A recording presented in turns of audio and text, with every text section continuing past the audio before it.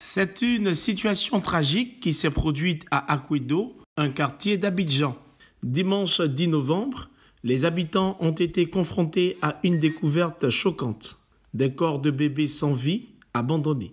La scène a rapidement suscité l'émoi et la panique dans la communauté, mobilisant les forces de l'ordre pour sécuriser le périmètre et mener une enquête afin de comprendre les circonstances de cette découverte macabre. Une scène qui a rapidement alerté les médias, dont l'équipe de cette info, sous la direction de notre reporter Lucien Aoussi. Le bilan sur place est particulièrement troublant et révèle des éléments choquants. 10 fibromes, un rejeton, trois hernies étranglées, un corps de bébé mort-né, un sac contenant des seringues de prélèvement, un sac de 50 kg de tubes de prélèvement biologique et des seaux en plastique. Euh, depuis 5 euh, 5h30 par là, la donne interpellé pour nous faire savoir que du jour, on a un sachet rempli équipements humains au niveau de la décharge.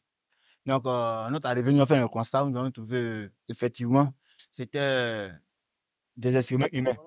Cette découverte soulève de nombreuses questions quant à l'origine de ces restes médicaux qui ont visiblement été abandonnés de manière inappropriée. Une enquête est en cours pour déterminer l'origine de ces objets et le contexte de cette macabre découverte.